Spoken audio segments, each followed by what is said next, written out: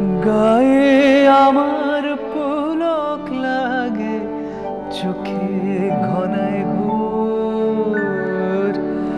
গায়ে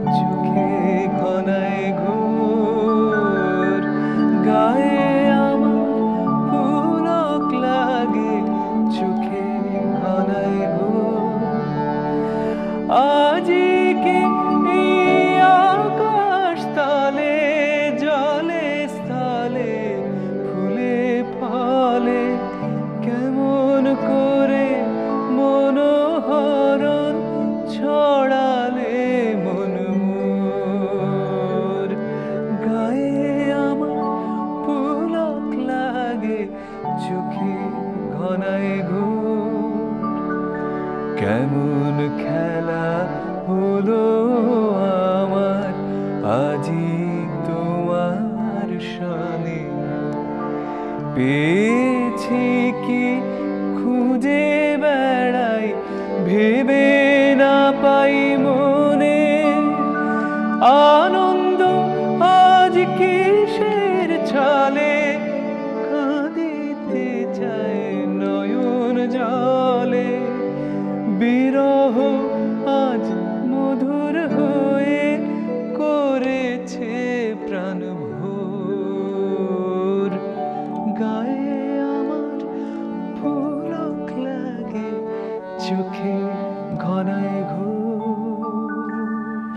আজ তুমি দেখেও দেখো না, সব কথা শুনিতে না পাও। কাছে আসো আশা করে, আছি সারা দিন ধরে। আনমনে পাশ দিয়ে তুমি চলে যাও। এখন হয়েছে বহু কাজ সতত রয়েছ অন্য মনে।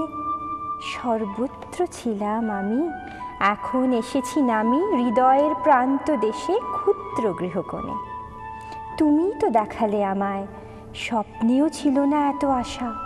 প্রেমে দেয় কতখানি, কোন হাসি, কোন বাণী হৃদয় বাসিতে পারে কত ভালোবাসা?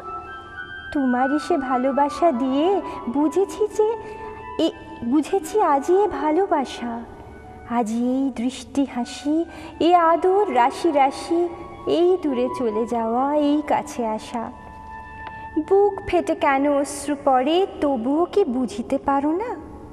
তর্কেতে বুঝবে তাকে এই মুছিলাম আখি এই শুধু চোখের জল, এই নহে ভৎসনা। বধু মিছেরা করুণা করুণা। মম মন বুঝে দেখো, মনে মনে মনে রেখো, করু করুণা। বধু মিছেরা করুণা করুণা। পাছে আপনারে রাখিতে না পারি, তাই কাছে কাছে থাকি আপনারি মুখে হেসে যাই, মনে কেঁদে চাই, সে আমারও নহে চলো না বধু মিছেরা করোনা করোনা। মম মন বুঝে দেখো মনে রেখো করো করুণা, বধু, মিছেরা, করুণা করুণা। দিনে কেরো দেখা, তিলে কেরো সুখ ক্ষণিকেরও তরে শুধু হাসি মুখ। দিনে কেরো দেখা, তিলে কেরো সুখ ক্ষণিকেরও তরে শুধু হাসি মুখ। পলকের পরে থাকে বুক ভরে, চিরজনমের বেদনা। তারি মাঝে কেন এত সাধা সাধি অবুজ আধারে কেন মরি কাঁদি? দূর হতে ফিরে যায় শেষে। বহিয়া বিফল বাস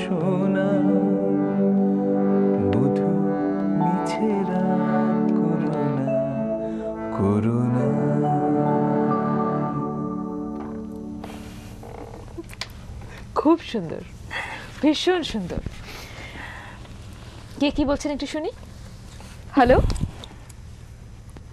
হ্যালো? হ্যালো? কে বলছেন? কৃষ্ণা দত্ত। সুপ্রভাত বলুন। চারুমাকে কে বলছি? আপনাদের তিনজনকে আমার সুপ্রভাত এবং শুভেচ্ছা। আমি একটুও সময় নেব কোনো রিকোয়েস্ট করব না। মানে এক কথা অনবদ্য আমি এতক্ষণ ফোন করছিলাম না সময় নষ্ট করব না বলে। একদম মন দিয়ে শুনছি। ধন্যবাদ। মনোজ মুরলীকে এবং মধুবনীকে। ধন্যবাদ। ধন্যবাদ। ধন্যবাদ আপনাকেও। সঙ্গে থাকুন দিদি। ভালো থাকুন। এবার? এইবারে কি?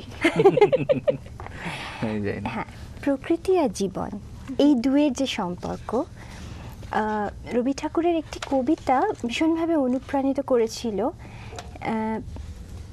যে বসন্ত হচ্ছে প্রকৃতির প্রেমিক। যার উদ্দেশ্যে প্রকৃতি সারা ওই ঋতুচক্র সে ঘুরে আসে সে ঘুরে আসে এবং সে প্রচুর বুকের মধ্যে বসন্তের প্রেম নিয়ে সে এই পাড়িটা দেয়। গ্রীষ্ম তাকে বর্ষার হাতে তুলে দেয় বর্ষা তাকে শরতের হাতে তুলে দেয় এবং এরা সবাই যেন এক একজন তার ব্যর্থ প্রেমিক।